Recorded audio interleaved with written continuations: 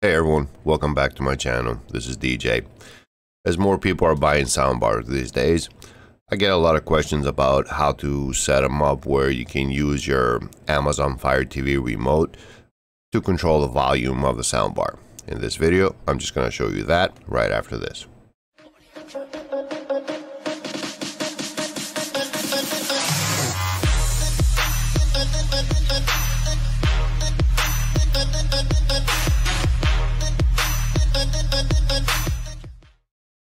In this video, I'm going to be using an Insignia soundbar. It's model NS-SBAR21F20. And also I'm going to be using a Fire TV Stick 2nd Gen that is connected to my Insignia TV. Now this soundbar only has two inputs. It has an analog and an optical connection. It does not have a HDMI ARC input in here.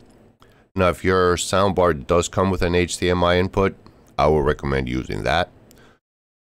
Otherwise, my second choice would be the optical, and then last would be the Bluetooth. Now, when it comes to Bluetooth connection, I don't personally recommend that.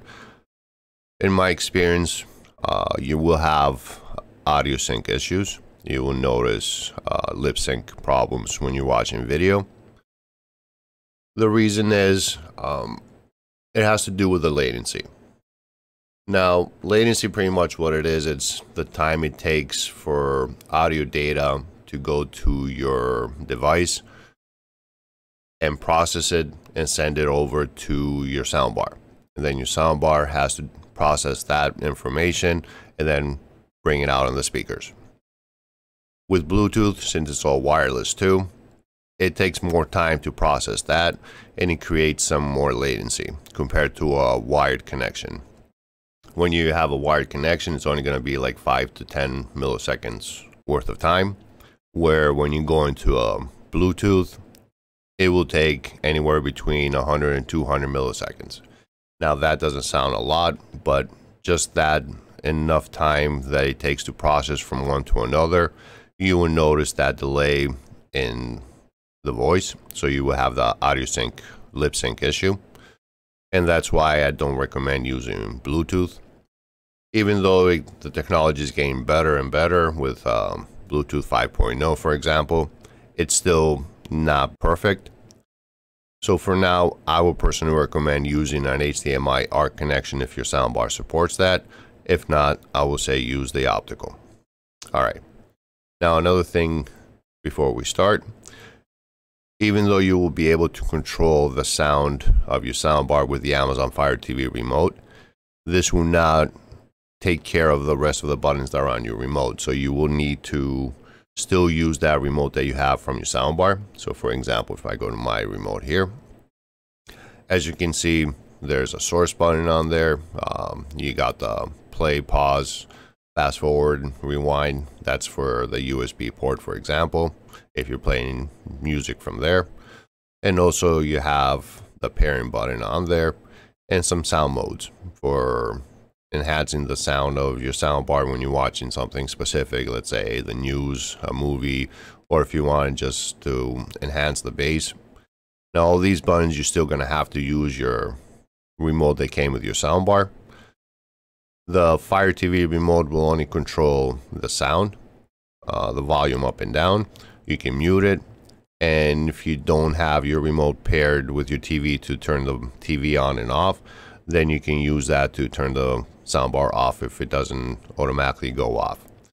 So for example this soundbar since it's only an optical if it had an HDMI connection input on there it probably will go off when you turn off the TV because of the CEC signal but this one will not so you have to manually turn it off all right now what do we need to do here first to set it up? We need to go to our settings. Scroll down and we're going to go to equipment control.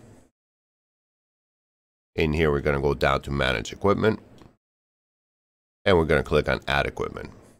You're select soundbar. Now if you previously installed um, a receiver for example or another soundbar, you will need to remove that one or change the soundbar. Otherwise, if you have for a, if you installed a receiver, let's say for example, the soundbar will not show up in the menu here. So you have to remove the receiver first and then soundbar will show up in here. All right, click on soundbar.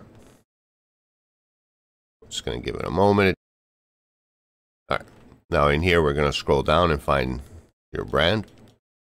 Mine is an uh, Insignia, like I said, so I'm gonna scroll down. And there it is. And click on that. Now the first menu over here, you can select next, or if you press the three line button on your remote, you can get into advanced setup. Pretty much is going to give you the models here. Now, this specific soundbar comes in two different models. The first one is just the soundbar, and this one is the soundbar with the subwoofer. So I'm going to select that one, and then press next. Now, you may be able to hear the sound in the background. So we gotta press the power on the remote to turn it off.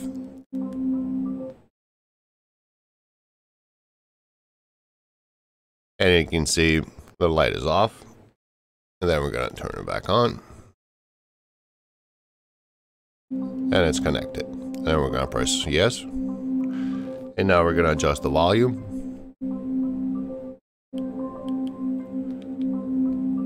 There you can see the light is blinking. Press yes. And that's it. Now the sound bar is connected. Alright.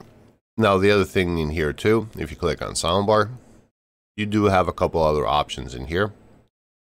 You can adjust how many increments at a time it raises or decreases the volume. So if you want to increase the, the volume, for example, instead of doing four increments at a time, if you press the fast forward, it brings it to five, or you can go back down to three. That's a choice. And then you got the infrared options. If you're going here, if there's a issue trying, you know, when you press a button and it doesn't do anything right away, it doesn't respond, you can adjust that over here. And also the repetition. Most of the time, the default is fine. It works fine with the way it is. But if you notice any issues, you can just adjust it from there.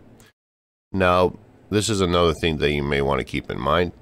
If you already have your remote, your Amazon Fire remote, to control the power of your TV, if your soundbar is not hooked up with an HDMI CEC connection, it won't turn off by itself.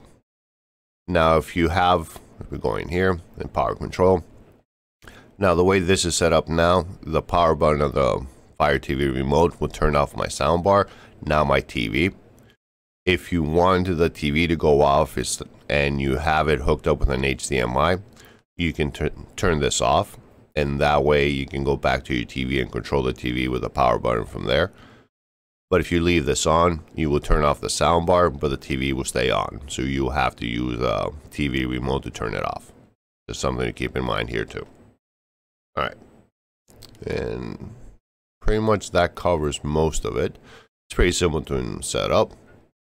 If you want to remove it, if you got a different soundbar or if you're going to hook up a AV receiver, for example, all you have to do is press the three line button on your remote and that will give you the option to remove it. Or if you're changing it, you can just click on here, change soundbar, and that's it. Alright, that should do it for now. A little short video. If you guys have any questions, leave it in the comment section below, and I will answer everybody's question as soon as possible. If you like this video, please give me a thumbs up. It does let YouTube know you like what I do here, and it does help my channel grow. Also click on subscribe and the little bell icon to get notified of any new videos that I upload. Thanks for watching. This is DJ. Till next time.